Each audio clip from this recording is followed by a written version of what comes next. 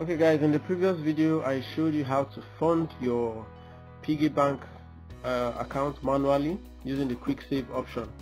Now in this video I'll show you how to auto save, to automatically save funds without you having to come back to manually do that yourself. The system will on its own automatically fund your account maybe on specific days that you set it weekly, monthly, daily, whichever way you like.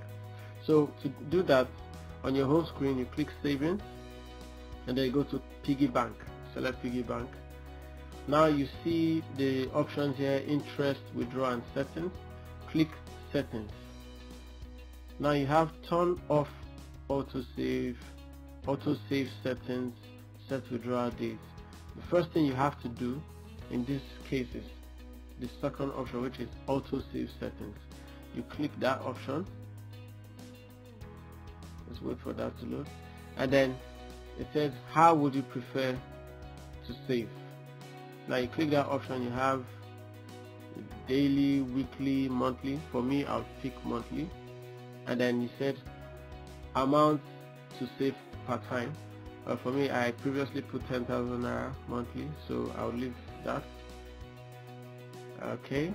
Then the day of the month which you'd like the funds to be debited from your account you click that option and select for me it's the seventh day. For you it could be any day you prefer. And then my preferred time was 2 p.m yeah 2 p.m yes. Then where should the funds come from? Okay. Now you can choose either your already registered credit card or debit card and then or your piggy flex wallet.